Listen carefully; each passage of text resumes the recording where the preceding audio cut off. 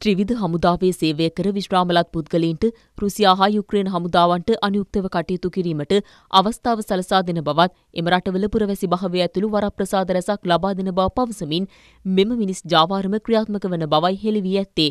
එසේ නොමග යවා එම රටවලට රැගෙන යන පුද්ගලයින් කුලි හමුදාවන්ට අනුයුක්ත කර කිසිදු පහසුකමක් ලබා නොදෙන බවයි මේ වන විට හෙළි වී තිබෙන්නේ. ඔක්කොම තිස් හතර දෙනෙක් ඉස්සල්ලාම මුලින් මෙහෙන් ගියා. අපේ ලයින් එකට ගෙනිච්චා ලයින් එකට ගෙනහිල්ලා කෙලින්ම අපි දැන් 34 දෙනා කෙලින්ම ගිහුවා අපි කැම්ප් හෙල්ප් ඇවිල්ලා තියෙන්නේ.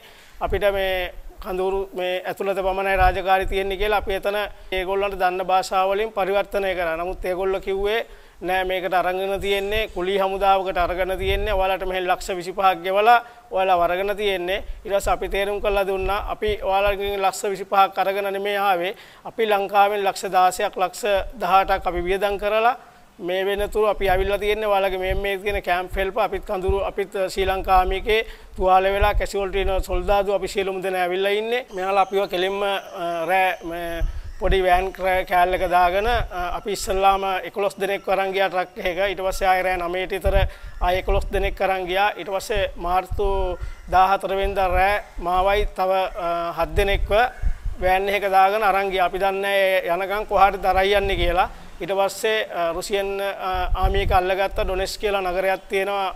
ඒ නගරේ ඉඳගෙන කිලෝමීටර 20ක් විතර එහා පැත්තේ තියෙනවා ලයින් එක. ඊට පස්සේ රෑ 8 විතර 14 වෙනිදා 8 විතරේ ලයින් එකට එක්කන් ගිහිල්ලා මෙයාලා ඒ එකයි අද්දි අපි දැනගත්ත මේ ලයින් එක කියලා එතන තනිකරම තුවාල වෙච්ච කට්ටිය සහ මැරිච්ච කට්ටිය හැමතැනම ඉන්නවා. ඊට පස්සේ ඒ අවස්ථාවේ අපිට එතනින් අවියක් ගන්න බෑ කියන්න තරම් ශක්තියක් නැහැ එතන අවියක් ගන්න බෑ කිව්වොත් වෙඩි තියලා ඉස්සරහා ලයින් එකට දාන සයිස් එකේ තමයි එතන ඉන්නේ. මේ අතර අද පැවති මාධ්‍ය හමුවකදී විදේශ කටයුතු රාජ්‍ය අමාත්‍ය තාරක බාලසූරිය මහතාගෙන්ද මාධ්‍යවේදීන් මේ සම්බන්ධයෙන් ප්‍රශ්න කළා. රුසියාවට කොළි හේවායකින් ලෙස යුද හමුදාවේ සමාජිකයන් 600ක් පමණ වෙනට ගිහිල්ලා ඔවුන්ගේ මරණ සිද්ධ වෙලා තිබෙනවා මොවුන්ගේ මරණ වාර්තා වෙන්නෙත් නැහැ කියන කාරණේ මාධ්‍ය වාර්තා පළ වෙනවා. දැන් මේ සම්බන්ධව රජය ගත්තේ මොන වගේ පියවරකද සිටින්නේ මේ සම්බන්ධව තීරණය කොහොමද? අපි විදේශ අමාත්‍යංශයෙන්ුත් මේ පිළිබඳව ඒ මාධ්‍ය ප්‍රකාශයක් අපි නිකුත් කරලා තිබෙනවා. විශේෂයෙන්ම මේ කට්ටිය යන්නේ හුඟක් වෙලාවට ටූරිස්ට් වීසා හැටියට.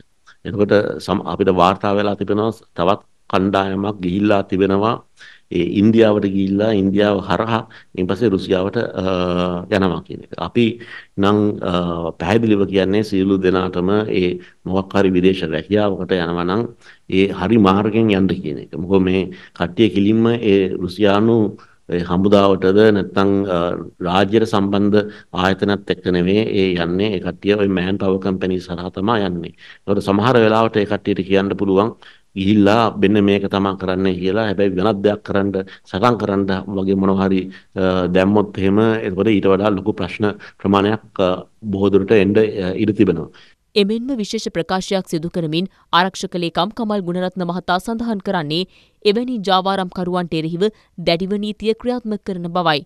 හොර රැකියා ඒජන්තවරුන් පිරිසක් එකතු වෙලා විශ්‍රාම ගිහිල්ලා ඉන්න රණවිරුවන්ව මේ රුසියානු යුක්‍රේන යුද පෙරමුණට යවන්නට මිනිස් ජාවාරමක් කරනවා. ඉතින් මෙතනදී බොරු පොරොන්දු රාශියක් දීලා තියෙනවා. රුසියානු හමුදාවට බන්ධනවා කියලා, ඒ වගේම යුක්‍රේන හමුදාවට බන්ධනවා කියලා, ඒ වගේම සෙන්ට් පීටර්ස්බර්ග් වගේ නගරවලින් ඉඩම් ලබා දෙනවා කියලා, ඒ වගේම පවුල්වල අයට රුසියාවේ පුරවැසිභාවය ලබා දෙනවා කියලා. ඒ විතරක් නෙමෙයි. රුපියල් ලක්ෂ 10කට අධික මුදලක් සමහරුන්ට ලක්ෂ 10ක් 15ක් ඒ වගේම ලක්ෂ 19ක් මාසික වැටුම විදියට දෙන්න පොරොන්දු වෙලත් මේ ආවේ යවලා තියෙනවා. ඒ ලක්ෂ ගණන් ලබා දෙනවා කියලා කිව්වට ඒ අයට මුදල් කිසිම දෙයක් ලබා දීලා නැහැ. මේවට රැවටිලා අපේ රණවිරුවන් සෑහෙන ගණනක් මේ වන කොටත් ඒ යුද පෙරමුණට ගිහිල්ලා ඒ සටන් කළා කොටසක් මිය ගිහින් තියෙනවා. කොටසක් තුවාල ලැබලා තියෙනවා. කවුරු මිය ගියාද කවුරු තුවාල ලැබුවද කියලා අපි කවුරුවත් දන්නේ නැහැ. අපි ආරක්ෂක අමාත්‍යාංශයේ විදියටත් විදේශ කටයුතු අමාත්‍යාංශයේ විදියටත් අපි විශාල උත්සාහයක් දරනවා. ඒ අය කවුද කියලා හොයාගන්න මොකද ඒ රජයන් වල නීත්‍යානුකූල හමුදාවලට නෙවෙයි මේ අය බන්ධවල තියෙන්නේ ඒ රටවල තියෙන කුලී හමුදාවලට. ඉතින් ඒක නිසා මම ඊ타මත්ම බැගෑපත්ව ඉල්ලා සිටිනවා අපේ හිටපු රණවිරුවන්ගෙන්. ඔබ මේ ජාවාරම් කාරයන්ගේ මේ ජාවාරම් වලට හොර මගඩි වලට අහු වෙලා ඔබේ ජීවිතයක් නැති කරගෙන ඔබ ආගියාතක් නැති නිසා ඔබේ පවුල්වල ඔබේ දෙමාපියන් බිරින්දෑවරුන් සහ දරුවන් දුකටපත් කරන්නේ නැතිව මේ විදියට යන ගමන නොගෙන් ඉන්න කටයුතු කරන්න කියලා මම ඉල්ලා සිටිනවා.